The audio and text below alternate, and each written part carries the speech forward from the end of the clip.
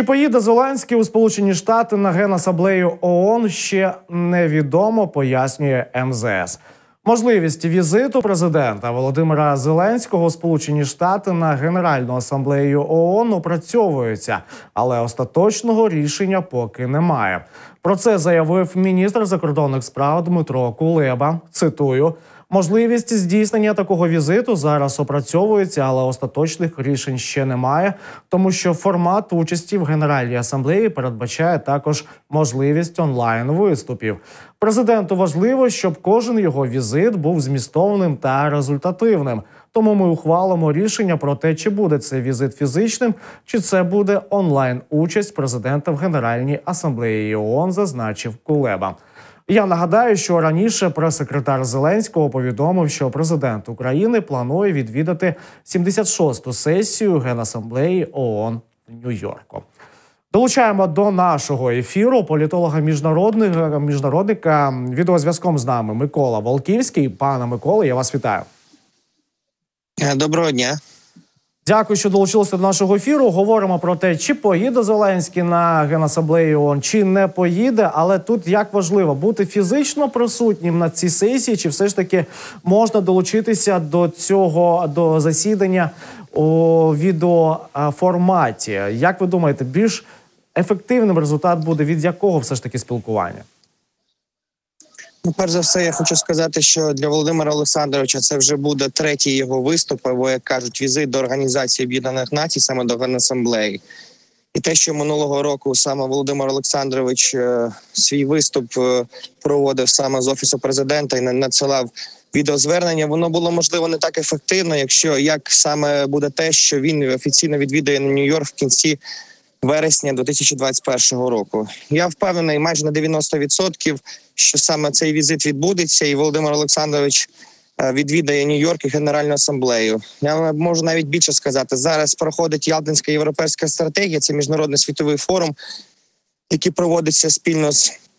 Спільно з е, фундацією Віктора Пінчука, і саме я там поспілкувався в кулуарах з представниками державного департаменту. У мене була можливість і я вже, як то кажуть, е, додатково отримав інформацію, що саме цей візит Володимира Олександровича планується, і він має відбутися.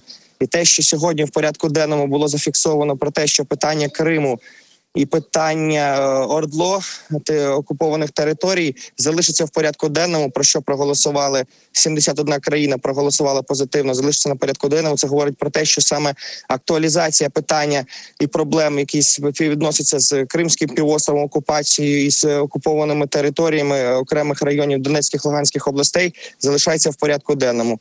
Можна сказати, що проти того, щоб виключити з порядку денного саме ці питання, виступили зазвичай, як ми знаємо, такі країни, як Зімбабве, Російська Федерація, Вірменія, Білорусь та інші. Зокрема, їх було всього 12. Тому офіційний візит Володимира Олександровича очікується до кінця вересня і чекаємо саме результатів. І які результати він принесе. Це буде, як я вже наголошував, його третій офіційний виступ в рамках Генеральної асамблеї Організації Об'єднаних Націй. Дякую вам, а, пане Микола. Почули вас. Е, Спасибі, що долучилися до ефіру Live Studio Day на сьомому телеканалі. Микола Волківський, політолог, міжнародник, а, був з нами відеозв'язком. Озвучив позицію свою. Він переконаний, що Володимир Зеленський все ж таки відвідає 76-ту сесію Генасамблеї. ООН. що цікаво, відомо, е, президент Російської Федерації Володимир Путін е, не поїде на засідання Генасамблеї ООН. Про це повідомив його прес-секретар е, Дмитро Пісков.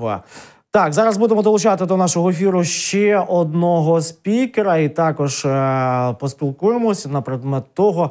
Чому президент Російської Федерації відмовляється їхати на генасамблею ООН? Чи пов'язано це з тим, що там швидше за все буде президент України Володимир Зеленський, Зеленський? Чи можливо, все ж таки є інші фактори, через які президент Російської Федерації не хоче їхати до Нью-Йорку?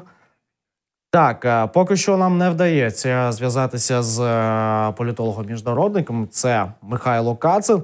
Я нагадаю, що нещодавно прес-секретар Володимира Зеленського Сергій Никифоров повідомив, що президент України Володимир Зеленський планує відвідати 76-ту сесію Генасамблеї е, ООН, яка відбудеться у Нью-Йорку. Але ось є Повідомлення від е, Міністерства закордонних справ там пояснюють, е, поки що це питання опрацьовується, у якому саме режимі візьме участь Володимир Зеленський у засіданні Генасамблеї, чи то безпосередньо поїде до Нью-Йорку, чи все ж таки долучиться а, в онлайн режимі. Підкажіть, будь ласка, чи є з нами зараз відеозв'язком Михайло Кацин?